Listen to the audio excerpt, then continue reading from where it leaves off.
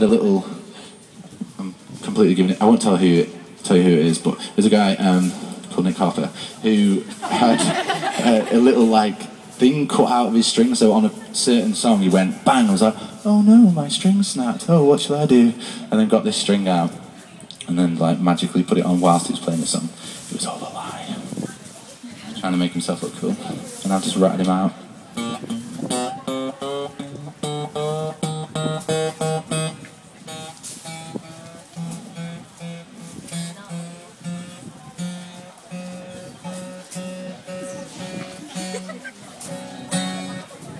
There we go. I'm definitely going to snap some more strings now. Ooh.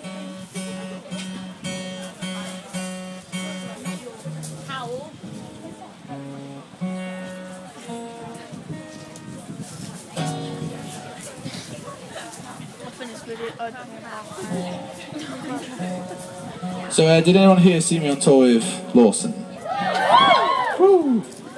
Woo! And um, actually, here's a good question. Uh, who's coming to my show in Brighton instead of Lawson's show in Brighton? You're like, uh. I'm catching it to either, so. well, if you're going to Lawson's instead of mine, then uh, you can leave now. No more messing. No, if you're coming to my show, thank you very much. If you're not, I understand. Lawson are a big band and they're very popular.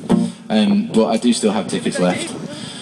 If you want to come and uh, be an absolute legend, but you know, that's up to you. You can decide in your own time.